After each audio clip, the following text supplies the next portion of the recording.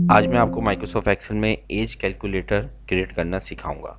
आपने date of birth यहाँ पे टाइप करनी है और तीन सेल्स में ईयर्स मंथ और डेज़ टाइप कर देना है।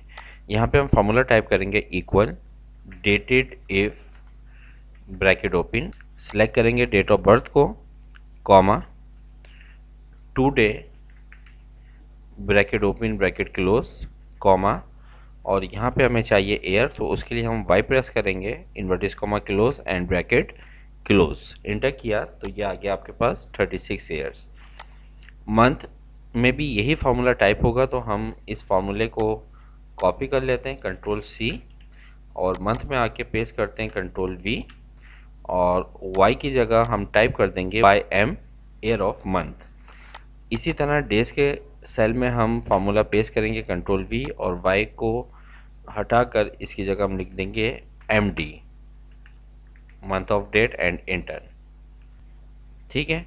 अब अगर हम यहाँ पे डेट टाइप करें तो ये देखें year month days proper calculate हो रहे हैं। तो उम्मीद करता हूँ कि एज कैलकुलेटर क्रिएट करना आपको आ गया होगा। फिर भी कोई प्रॉब्लम हो तो कमेंट्स बॉक्स में पूछ लीजिएगा। मिलते हैं नेक्स्ट वीडियो में। जब तक के लिए अपना ख्याल रखिएगा। अल्लाह हाफिज़।